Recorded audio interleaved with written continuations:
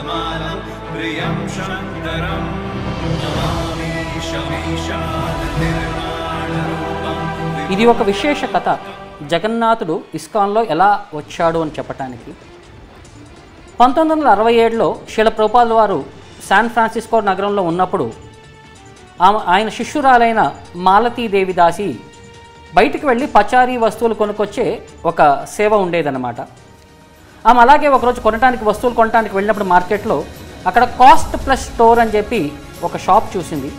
ఆ షాప్లో అన్ని భారతదేశపు వస్తువులు అన్నీ తీసుకొచ్చి అక్కడ వాళ్ళు అమ్ముతూ ఉంటారనమాట అక్కడ ఒక చిన్న విగ్రహం ఆమెని బాగా అట్రాక్ట్ చేసిందనమాట సో ఆ విగ్రహానికి దానికి డబ్బులు పే చేసి వెంటనే ప్రోపాల్ వారి దగ్గర ఉన్న రూమ్కి వచ్చి ప్రోపాల్ వారికి నమస్కారం చేస్తూ ఆ విగ్రహాన్ని తీసి నేను ఈ వస్తువుని కనుగొన్నాను ఇదేంటి ఈ వస్తువు? అని చెప్పి ప్రోపాల్ వారి ముందు డస్క్ పైన పెట్టింది.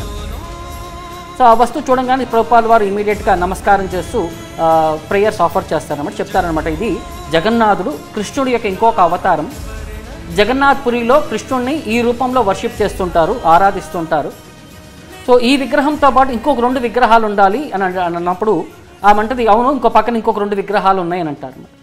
సో వెంటనే వెళ్ళి ఆ రెండు విగ్రహాలను కూడా తీసుకొచ్చేయని చెప్పి చెప్తారనమాట ఆమె ఆమె భర్త శ్యామసుందర ఇమి వెంటనే వెళ్ళి ఆ రెండు విగ్రహాలు కూడా తీసుకొచ్చేస్తారు. సో ప్రోపాల్ వారు వారికి చెప్తూ ఈ విగ్రహాలు చిన్న సైజులో ఉన్నవి.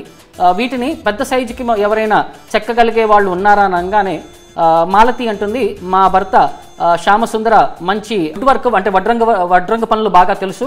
అతను చెక్కగలడు అతను చిత్రకారుడు అన్నట్టు చెప్తుందన్నమాట. సో ప్రోపాల్ వారు అతనికి ఆజ్ఞ ఇవ్వగానే అతను మార్కెట్కి వెళ్ళి మార్కెట్లో మంచి చెక్క కొనుక్కొచ్చి ఇక ప్రోపాల్ వారు ఇచ్చిన అంచనాల మేరకు విగ్రహాలన్నింటినీ దాంట్లో చెక్కడం మొదలు పెడతాడనమాట సో అప్పుడప్పుడు ప్రోపాల్ వారు వచ్చి కూడా ఆ విగ్రహాలను చూస్తూ దాని యొక్క కరెక్షన్స్ ఏమైనా ఉంటే చేస్తూ వెళ్తూ ఉంటారు సో ఒకరోజు ప్రోపాల్ వారు ఆకస్మికంగా వచ్చినప్పుడు అక్కడ శ్యామసుందర చెక్కుతూ ఉన్నాడు. పక్కన ఒక సిగరెట్ బాక్స్ ఉండిందన్నమాట.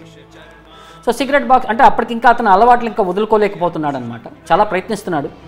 సో ఆ రోజు ప్రోపాల్ వారు అతన్ని మెచ్చుకొని నువ్వు బాగా పని చేస్తున్నావు.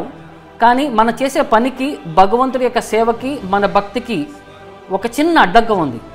అతను వింతగా చూడసాగాడనమాట ఏంటి ఆ అడ్డంకం అని చెప్పి అప్పుడు ప్రోపాల్ వారు చెప్తారు ఈ ఒక్క పెట్టి ఈ సిగరెట్ బాక్స్ పెట్టే ఏదైతే ఉందో అది మనకి భగవంతుడికి మన భక్తికి అడ్డంగా ఉండగానే ఆ మాట వినంగానే శ్యామసుందరాకి కొంచెం మనసు అంటే ఫిక్ ఫిక్స్డ్ అవుతాడనమాట ఇక ఈ రోజు నుంచి నేను ధూమపానం చేయకూడదు సిగరెట్ తాగకూడదు అని చెప్పి దాన్ని ఇక విసిరేస్తాడు.